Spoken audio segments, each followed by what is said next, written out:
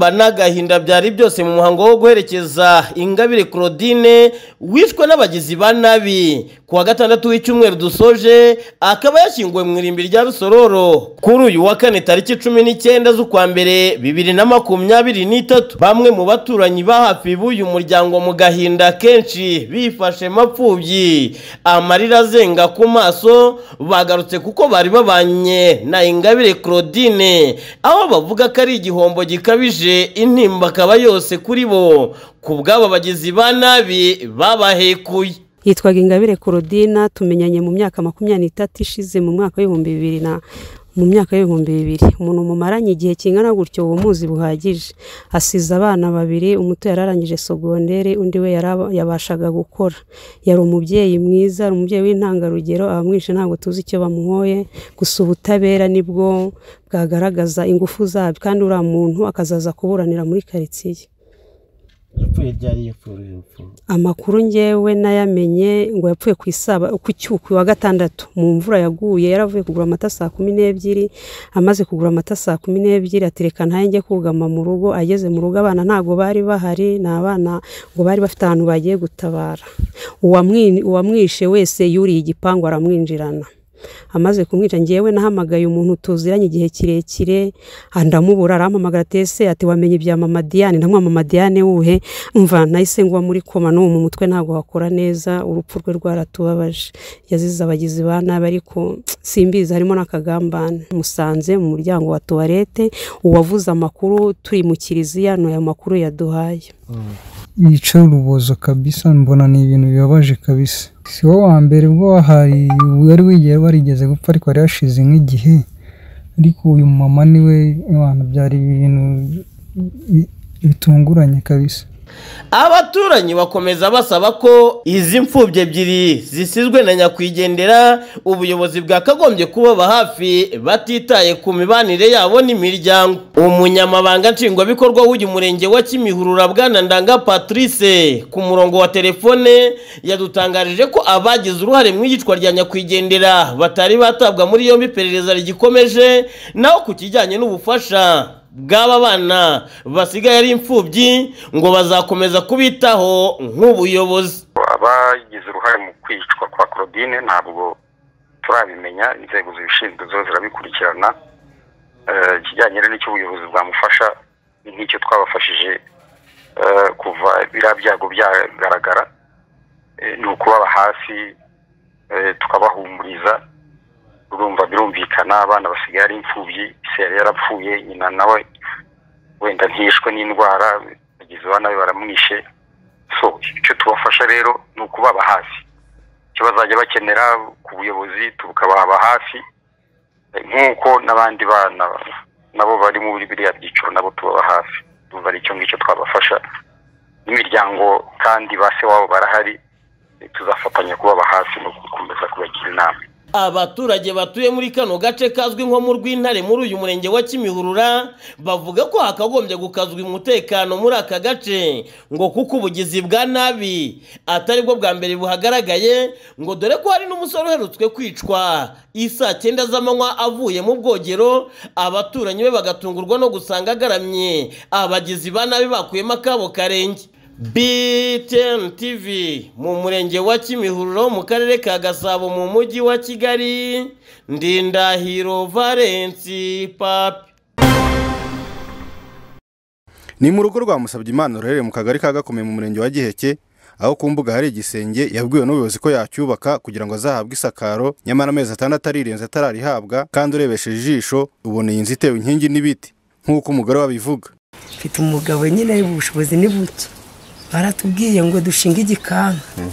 Nitumara kukibona we bazaza kumureba uwo mugabo bajye kumuha amabati yo gusakara. Twarategereje tura- turayabura. Tumaze nk'amezi agera nko kuri atanu. Ko batishoboye n'abaturanyi be barabihamya bakavuga ko bateye impungenge y'uko iyi nzu ishobora kubagwaho. Impamvu ituma atubaka ni ubukene eh, butuma nyine atubaka nta bushobozi afite. Akaba ari aho ariko abiteganya nyine agira ati reka nshinge igikanka. Yenda leta izandwanaho imfashe. Iyi nzu twese duteye impunyi nka duturanye nawe bitewe n'uko nyine avuga ati reka nyishinge leta izamfasha ubushobozi. Na sakari natwe ariko nyine tubifitiyeho impungenge tugira tuti iramutse baguyeho rwose ibintu byaba ari igitangaza. Eh, impungenge dufite nyine yuko inzu yagwa ku bana nyine n'uyu mubyeyi. Twumva nyine natwe nyine tugize ikibazo. Tekereza nyine ntigewe byenda nubwo nyine mvuga ntumutonyi uri kugwa hariya hariya. Ndavuga ntibari abantu bameze gute koko? Kimwe nawe ndetse n'abaturanyi be icyifuzo cye ni uko yahabwa isakaro abaturanyi nabo bakamuha umuganda akabona aho arambika umusaya. Turabasabira ubufasha kugira ngo bafashwe. Turifuza ko mwadufasha na leta mugafatanya. Turifuza ko ubuyobozi bwadutabara noneho bukaba bwadufasha tukaba twa- twagerageza uburyo bwadusakariye natwe abaturage tukaba twarwanya tukamuha nk'u- nk'umuganda wo kuhoma abantu bose mbese tukaba twafatikanye nabo muri uyu mudugudu ni abantu bakunda gufashanya cyane. Umunyamabanga nshingwabikorwa w'umurenge wa giheke hategekimana karaveri avuga ko uyu muturage nawe ari mu bazubakirwa cyakora ngo bahera ku badafite aho bakinga umusaya gusa ntahamya ko ari none cyangwa ejo. Umurenge uri kugikora kuko nk'uko tuba dufite abaturage benshi nyine bafite ibibazo nka biriya. Rimwe na rimwe tugahera no kuba badafite n'aho habi bihengeka. Kugira ngo nawe ku rutonde rw'abo duteganya gufasha hariho ni uko tugenda tubafasha uko ubushobozi bugenda buboneka. Ubusanzwe tuba dufite nyine abari ku rutonde rw'abagomba kubakirwa ariko tugenda tububakira bitewe n'ubushobozi uko bubonetse. Ariko ingengo y'imari y'umwaka bishobora kudakunda ariko mukurikiye bishobora kuzakunda kuko ubusanzwe duhera kuri barya bataba bafite ahantu namba ho kwihengera yashonje ahishiwe byo kuko turamutekereza. Akimana ernest btn tv mu buzi mu karere ka rusizi.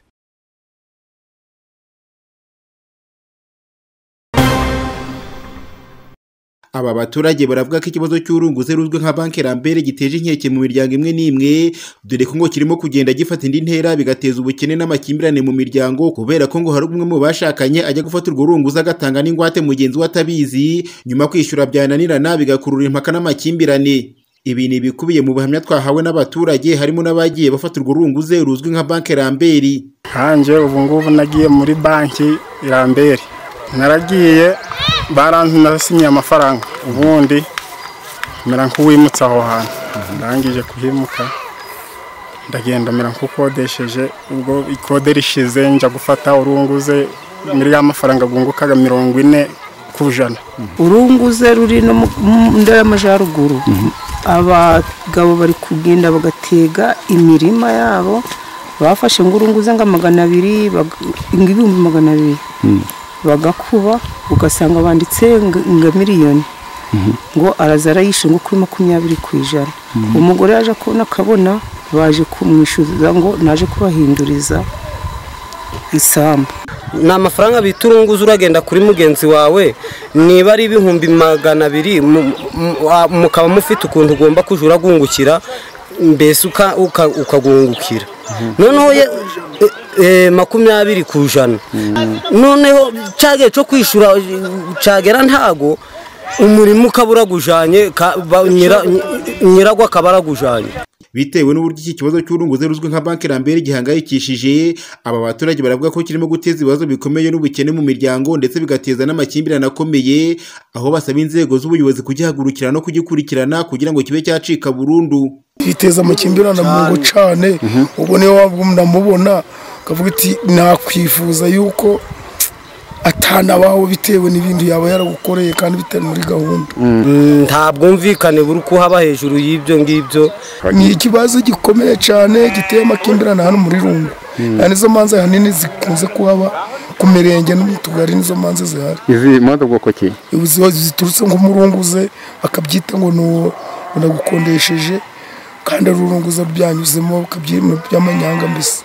Nyine bakagombye wenda kuremesha inama noneho wenda nk'icyo kintu bakaba bakivugaho bakabiyama bakajya baraguza kuguza si bibi ariko bakaguza bazi neza ko amafaranga bahawe ari ayo ariko ibyo byo kuvuga ngo bagiye gushyiraho ayandi y'ingerekero kandi atariyo bafashe bakabireka. Umuyobozi w'akarere ka musanze bwanara muri janvier arasaba abaturage guhindura imyumvire bakareka kwishora muri ibyo bikorwa by'urunguze bya banki ramberi kuko ngo bihombya abaturage bikanabasiga mu bukene bukabije aho asaba abaturage kugana banki zemewe n'amategeko cyangwa se bakajya mu bimina bizwi. Hagati aho ngo ubuyobozi bukaba bugiye gukomeza ubukangurambaga mu baturage bugamije gukumira ibyo bikorwa by'urunguze bizwi nka banki ramberi kuko bitemewe n'amategeko. Ni ukwirinda ubwo bucuruzi bw'amafaranga kuko birabahombya bikabasiga mu bukene bukabije. Tubagira inama yo kugana banki ziza zashyizeho zo kubaha amafaranga sako zegerejwe abaturage.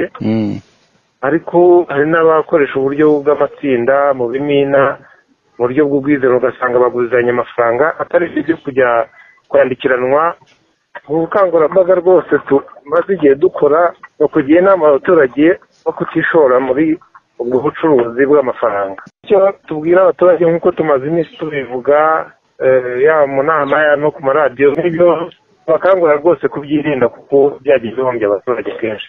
Abaturage bafite ibyo bazi kuri urwo runguze rwa banki ramberi baravuga ko inyungu z'umurengera zisabwa muri urwo runguze usanga hari urwo ziremerera cyane uwagurijwe amafaranga maze kuyishyura bikamugora. Nubwo ngo benshi bayafata bizeye ko bazayishyura yemwe ngo bagatanga n'ingwate nyamara bikarangira kwishyura binaniranye hakavuka impaka zituma bamwe bajya mu nkiko.